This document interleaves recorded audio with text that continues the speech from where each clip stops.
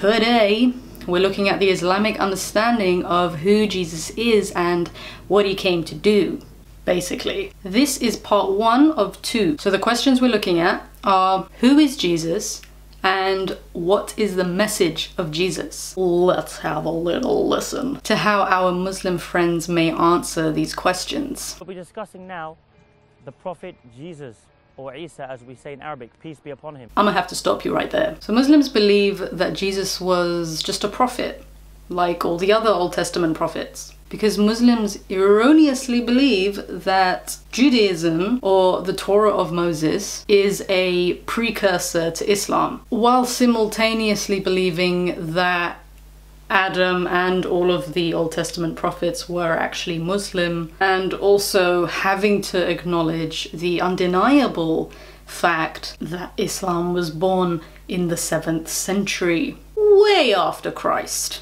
Work your way around that maze. In Islam, the Prophet Jesus, peace be upon him, is a great prophet. But we in Islam, however, do not believe that he was a physical, begotten son of God.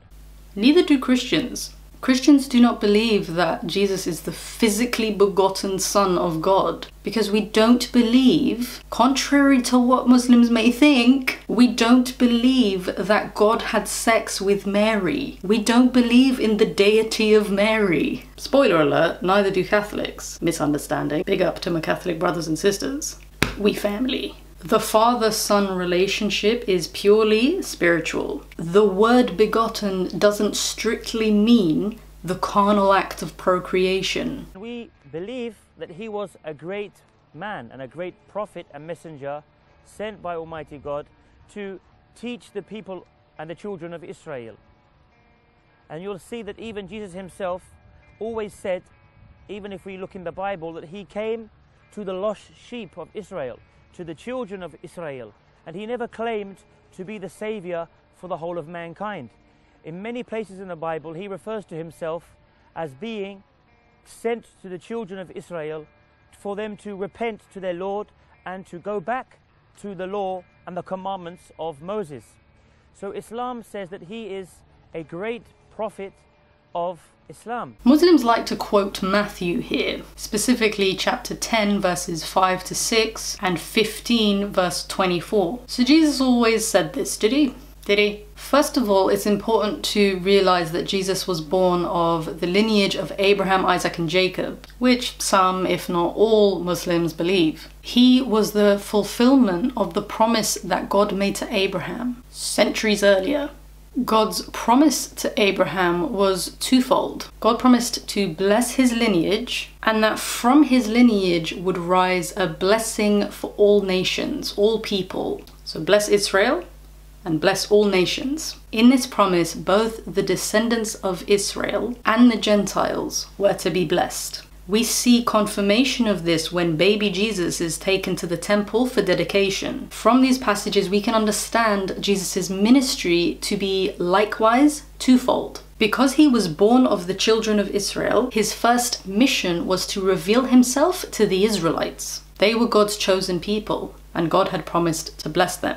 These people were the descendants of Abraham, Isaac, and Jacob. It gets better, my Muslim friends. See, the thing is, the Quran bears witness to this distinction. Let's have a look. Surat Us-Sad, chapter 38, verses 45 to 46. And commemorate our servants Abraham, Isaac, and Jacob, possessors of power and vision. Verily, we did choose them for a special purpose, proclaiming the message of the hereafter. Surat al-Baqarah, chapter 2, verse 47. Children of Israel, call to mind the special favor which I bestowed upon you, and that I preferred you to all others for my message. So the Quran attests to the distinction between the, the blessing of Israel and the not blessing of Gentiles. The children of Israel had grown hardened and indifferent to the things of God. Surprise, surprise. Israel forsook the Lord again. When will they learn, eh? It was necessary for Jesus to personally minister among them with signs and wonders in order to confirm that he was the long awaited Messiah prophesied in the Torah. This is why during his ministry, Jesus instructed his disciples to go only to the children of Israel. They were to hear the message first. This was their privilege as the people of God, the people of God's covenant. God's bare loyal. Following the death and resurrection of Jesus, one of the disciples addressed the Israelites as follows. Acts chapter 3, verses 25 to 26, we read, And you are heirs of the prophets and of the covenant God made with your fathers. He said to Abraham, Through your offspring, your descendants, all people on earth will be blessed. When God raised his servant, Jesus the Messiah, he sent him first to you to bless you by turning each of you from your wicked ways. First, Jesus came to them first, implying something after, because God's promise was twofold. Jesus is God's promise. He came to the Israelites first. And now initiate mission two to bear the sins of the world and give his life for the salvation of all mankind. The scriptures are clear that salvation in Jesus is available to all. In Acts chapter 1 verse 8 we read, "You will be my witnesses to the ends of the earth." Matthew 28:19, "Go make disciples of all nations." John 8:12, "I am the light of the world. Whoever follows me will never walk in darkness, but will have the light of life." Surat u Maryam? That's not the Bible.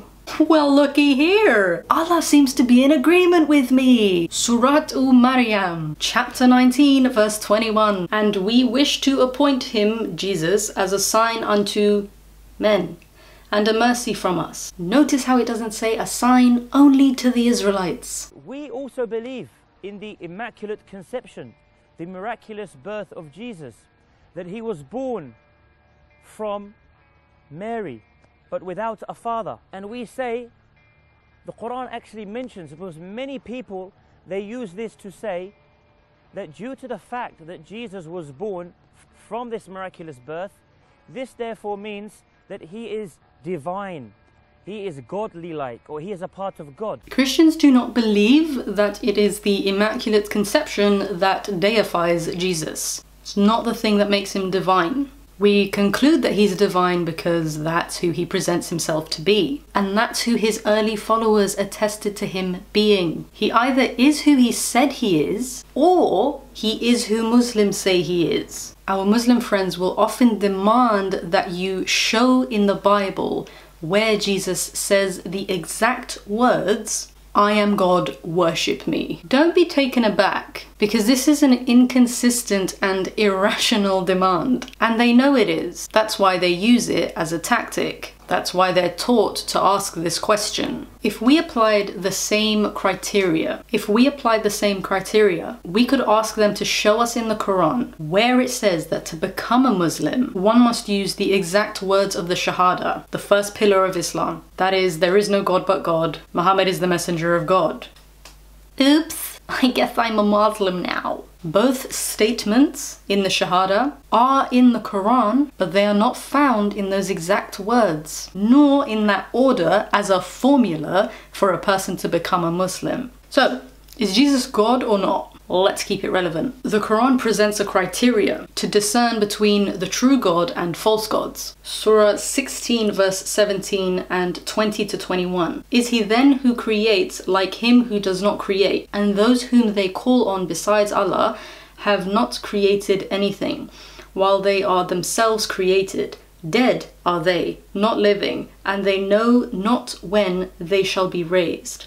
Surah chapter 25, verse 3 And they have taken besides him gods who do not create anything while they are themselves created, and they control not for themselves any harm or profit, like the black stone. And they control not death, nor life, nor raising the dead to life. So, false gods are created and have not created anything. False gods cannot bring death, cause life, or resurrect and the objects of worship are dead, implying God is the creator, God is the source of life, and God is ever living. Let's look at John chapter 1, verse 3 and 10. Through him all things were made. Without him, nothing was made that has been made. He was in the world, and though the world was made through him, the world did not recognize him. See also Acts chapter 9, verses 10 to 17 and 21. I won't read the whole thing. The bits to pay attention to are the reference to the believers calling upon the name of Jesus, meaning they are convinced of his deity, they are calling upon him as Lord.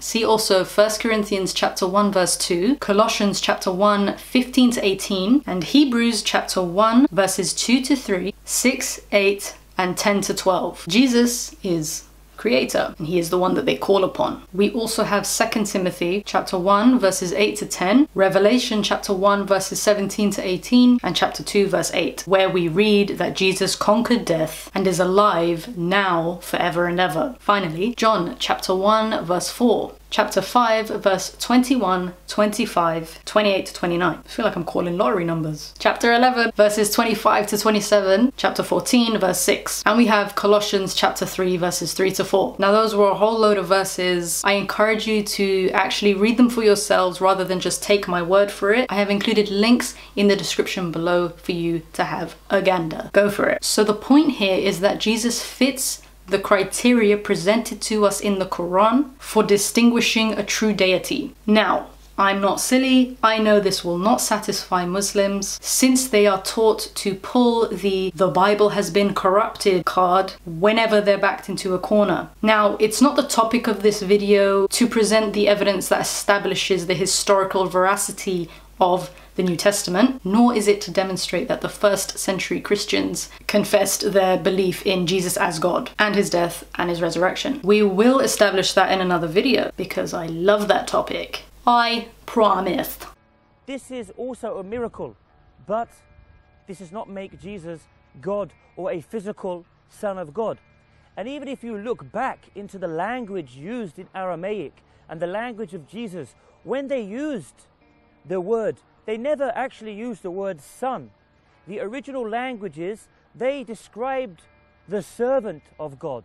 But when it translated down the line, they started to translate it after the concept of Saint Paul, as they call him, where he brought up the physical Son of God. God the Father and God the Son does not connote a physical relationship. Muslims seem to be the only people who think that Christians think that Jesus is the physically begotten Son of God. Let's look at this mistranslation claim. Since he doesn't give specific examples, we will look at the verses most commonly used by Muslims when trying to establish this criticism. The first typical assumption is that the Greek word pais must always mean servant. Acts chapter 3, verses 13 and 26, and chapter 4, verses 27 and 30. These verses are in the AKJV version. We can see that Christ is being referred to as his son Jesus and thy holy child Jesus. The RSV, however, renders these verses differently, saying his servant Jesus, his holy servant Jesus. These differences have led some Islamic apologists to contend that the earliest Christian confession wasn't that Jesus was God's son, but rather his servant. In fact, and I'll demonstrate, the earliest Christian proclamation was that Jesus is the unique Son of God. First, the Greek word that the RSV renders servant, paida, doesn't always refer to a servant. There are places where this word is used to refer to a child. In John chapter 4 verses 43 to 54, we read about the healing miracle of a certain royal official's son. The royal official refers to his son as his pais or paidion, which obviously doesn't mean servant, since we establish from the context that he's talking about his child. And in Luke chapter 2, verses 6 to 32 and 40, we read about baby Jesus being dedicated at the temple. In light of that context, speaking of Jesus' birth and his consecration to God at the temple. Can you honestly deny that Paidion can only mean child or son here? Come on now. The second assumption is that the Son of God means nothing more than a servant of God. Term of endearment, if you like. The problem is that the Bible is clear about sons and daughters being of higher status than servants. In Matthew chapter 17, verses 24 to 27, we read When they came to Capernaum, the collectors of the two drachma tax went up to Peter and said, Does your teacher not pay the tax? He said, Yes. And when he came into the house, Jesus spoke to him first, saying, What do you think, Simon? From whom do kings of the earth take toll or tax? From their sons or from others? And when he said, From others, Jesus said to him, then the sons are free. Sons are exempt from paying the tax. Others are not. John chapter 8 verses 34 to 36. Jesus answered them, Truly, truly, I say to you, everyone who practices sin is a slave to sin. The slave does not remain in the house forever. The son remains forever. So if the Son sets you free, you will be free indeed. A slave or servant has no permanent place in the house, whereas a son abides forever. Hence why we need God's Son to set us free from sin bondage. And in Mark chapter 12 verses 1 to 11, we read the parable of the wicked vine dressers. There once was a man who planted a vineyard and put a secure fence around it. He dug a pit for its wine press and erected a watchtower. Then he leased it to tenant farmers and travelled abroad. When the time of harvest came, he sent one of his servants to the tenants to collect the landowner's share of the harvest. But the tenants seized him and beat him and sent him back empty handed. So the owner sent another servant to them, and that one they shamefully humiliated and beat over the head. So he sent another servant and they brutally killed him. Many more servants were sent, and they were all severely beaten or killed. The owner had only one person left to send, his only son, whom he dearly loved. So he sent him to them, saying, Surely they will restrain themselves and respect my son. But the tenants saw their chance, and said to one another, This is the heir. Come, let us kill him and then we'll inherit it all. So they violently seized him, killed him, and threw his body over the fence. So what do you think the owner of the vineyard will do? He will come and put to death those tenants and give his vineyard to others. In the parable, the servants are the prophets of God. From the day that your fathers came out of the land of Egypt to this day, I have persistently sent all my servants, the prophets, to them day after day, yet they did not listen to me or incline their ear, but stiffened their neck. They did worse than their fathers. The beloved heir and son is none other than the Lord Jesus. Jesus didn't view himself as a mere servant like the others, like the rest of the prophets. He thought himself much higher and greater than them. Third assumption, Mark chapter 10 verses 41 to 45 and Matthew chapter 20 verses 24 to 28. Instead, whoever wants to become great among you must be your servant, and whoever wants to be first must be slave of all. For even the Son of Man did not come to be servant, but to serve and to give his life as a ransom for many. And in Luke 22, verses 24 to 27, the kings of the Gentiles lord it over them, and those who exercise authority over them call themselves benefactors. But you are not to be like that. Instead, the greatest among you should be like the youngest, and the one who rules like the one who serves. For who is greater, the one who is at the table or the one who serves? Is it not the one who is at the table? But I am among you as one who serves. And finally, in John chapter 13, verses 3 to 17, Jesus washes the feet of his disciples and says, You call me teacher and Lord, and rightly so, rightly so, for that is what I am. Now that I, your Lord and teacher, have washed your feet, you also should wash one another's feet. I have set you an example that you should do as I have done for you. Very truly I tell you, no servant is greater than his master, nor is a messenger greater than the one who sent him. Now that you know these things, you will be blessed if you do them. See also Philippians chapter 2 verses 5 to 11. New Testament authors clearly had no problem with Jesus being both the son and the servant. They go out of their way to identify Jesus as the son. See the following verses up on your screen now. In your own time, can't do it all for you. Just pause here and take note.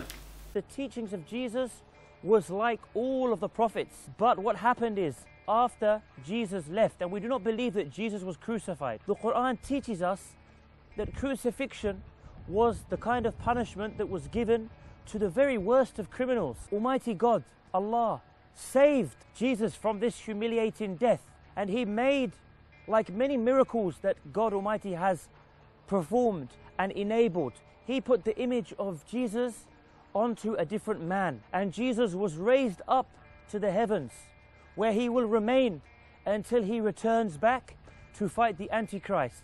The Antichrist who will come and will claim to be a fault, will claim to be God. He will come with one eye and he will bring dead people alive. And he will put in front of the people a piece of heaven will appear, but it is really hell. And a piece of hell, but this is really heaven. And only the true believers will be able to view on his forehead that he is a disbeliever. And they will know that this heaven is in reality hell. And this hell is in reality heaven. So the believers will jump into what looks like hell, knowing that this is really heaven. And the disbelievers will jump into heaven, not knowing that this is really hell. Why all the deception, man? For real. So Allah is a liar and a deceiver? If God is good and just, why would He forsake the followers of Jesus? He allowed for them all to be put to death, some of them crucified, executed, died in prison, stoned. He allowed all of this for what? For a lie? A lie he knew was a lie? Nonsense. Also, just a thought if all Jesus did was come to the Jews to call them all back to the Torah of Moses, for what reason would the super legalistic, well respected Pharisees have wanted to kill him? So Jesus turns up and says, Hey guys, we should follow the Torah, and they want to kill him? Why'd they get upset? Why'd they get the Romans to crucify the brother? Nonsense. So he will come back and he will fight this Antichrist. And he will come back and he will destroy the cross, kill the pig. Why?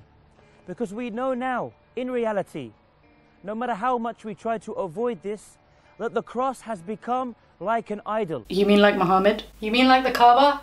The cross has become like an idol. People, they wear the cross around their neck and they hold it when they pray. This has almost become something that people worship to, whether they like it or not.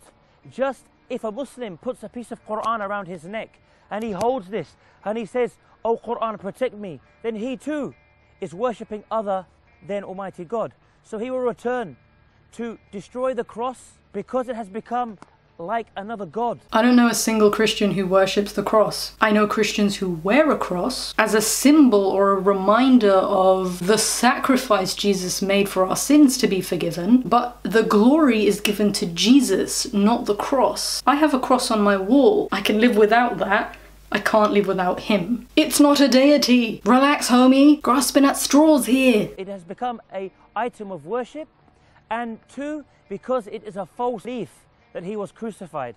And even if you look into the Bible, there are no clear witnesses or descriptions that clearly show and say we saw Jesus, or they are contradicting each other when they talk about this crucifixion. Jesus' death is actually the most well attested to fact of ancient history. Let's look at four testimonies, two ancient and two current. We have the New Testament scholar and historian of early Christianity, John Dominic Crossan. He says that he was crucified is as sure as anything historical can ever be. We have the New Testament scholar and historian Gerd Ludemann. He says Jesus' death by crucifixion is indisputable. Josephus, everyone's favorite Jewish historian, who was also a priest and scholar. He says, When Pilate, upon hearing him accused by men of the highest standard among us,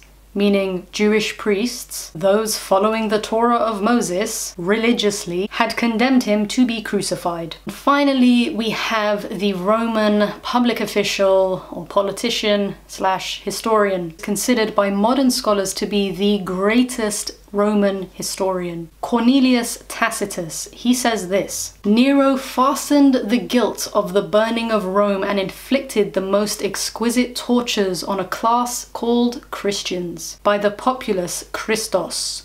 from whom the name had its origins, suffered the extreme penalty at the hands of Pontius Pilate. Now, it's very important to realize that none of these men had anything to gain by attesting to the death of Jesus by crucifixion. They are essentially enemies of the faith, establishing the faith. So Islam teaches us that he was saved from this humiliating death and he was raised up, which he is still now alive in the heavens with the Creator, Almighty God, Allah, and he will return. And when he returns and kills the Antichrist, he will then die a death and will be resurrected like all of us because the Quran says that every soul shall taste death.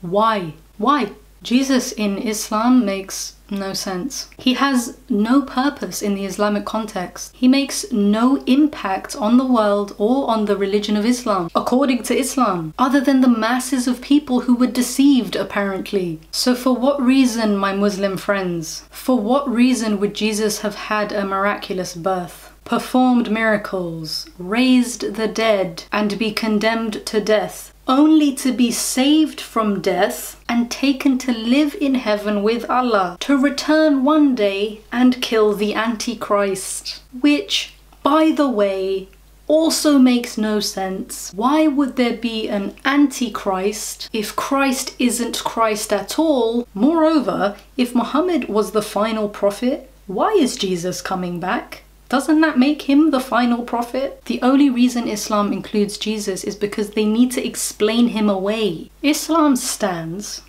on the denial of both the historical Jesus, whom even secular historians will attest to, so this isn't just a Christian conspiracy, but also the denial of the deity of Jesus. We will see that the followers of Jesus remained on that correct belief. They said, that God is one and Jesus is the messenger and servant of God. And this is historically proven. Historically proven? Okay, how's that then? If you go through the books of history, you'll find that they remained on this belief. Ah, the books of history, of course. Any in particular? No? Okay, moving on. The first time that the concept of Jesus died for our sins and Jesus is the physical begotten Son of God, came from Paul. Now he came forward after Jesus by around 60 to 70 years, and he was paid by the Romans as a bounty hunter to go and capture the believers of Jesus and the followers of Jesus to be tortured or imprisoned or exiled. He was one time on a journey. He was traveling from Palestine to Damascus, on the road to Damascus. And he says that he had a vision and a trance where Jesus came to him and told him that people do not need to follow the law of Moses. They just have to believe that I died for their sins and they will be saved. And he was the first person to come with this. The Apostle Paul was a Pharisee.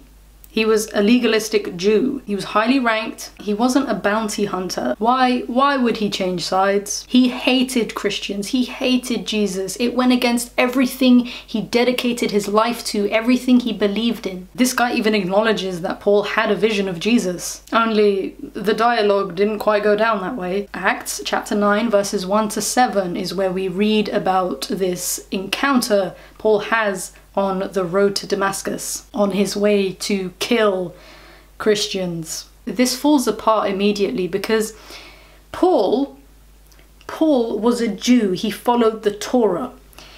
Muslims will claim that the early Christians were actually Muslims, basically, that they did not confess the deity of the Lord Christ. So, what is actually being said here is that Paul, the Jew, came to kill the early Christians who weren't really doing anything against the Jews. Doesn't make any sense. Either the Christians were saying something that was heretical towards the Jews or nothing, because there's no other reason Paul would hate them and seek them out to murder them. So the early Christians must have been saying something Controversial. So in Acts, we read that Jesus actually said, Saul, Saul, why do you persecute me? And Paul said, Who are you, Lord? And the Lord says, I am Jesus whom you are persecuting. Now get up and go into the city, and you will be told what you must do. That was his conversation with the risen Jesus. Who appointed him as an apostle? Was he a prophet of God? No. And if you look at his life before this, he did not live a good life. But when you look at all of the prophets and their childhood and their life, they were always of good and righteous nature. They were always of a holy nature. Good righteous lives, huh? Yeah, that's who God chooses. Abraham committed idolatry and adultery. Don't get me started on David. Elijah was a sad sack, bit of a wet blanket sometimes. Made up for it though. Jacob had way too many wives, plus adultery. And Jonah straight up bounced. He wanted Nineveh to just burn in hell, couldn't care less. The prophets weren't called because they were holy and righteous. They were chosen and consecrated to carry out the will of God. His strength shows through our weakness. Beautiful. These were great men of God, but it wasn't because they were perfect. It was because they were obedient unto the Lord. So you'll see that he came back with this concept. And when he came back, the followers of Jesus denied him. And they looked at him as a heretic because he came back with teachings that were never taught to the disciples. Even some of the disciples who were alive at that time, they said that this is not the teachings of Jesus. And he was not allowed to preach and he tried to preach again, and he was stopped by the followers of Jesus from preaching because they said, What you are preaching is not the word of Jesus. But in the end, he was allowed by the Roman government to continue his message. And this is where the Pauline branch of Christianity came around, and the concept of the Son and the Father, and Jesus dying for our sins, and God having a physical begotten Son. This is where it developed. Nope. Acts chapter 9, verses 26 to 28. And that's where we're going to leave it. Dun, dun, dun. Look out for part two, where we'll be looking at two additional questions raised by our homeboy. I don't know his name, it's nowhere to be found. Thank you for watching. My name is Christ Defender. I defend the Christian faith. If you like what I do and would like to support me, please follow the Patreon link in the description below. If you'd like to see more videos, subscribe and turn on notifications. I post every Saturday. You can also find me on TikTok and Instagram. Check me out. See you later. Why?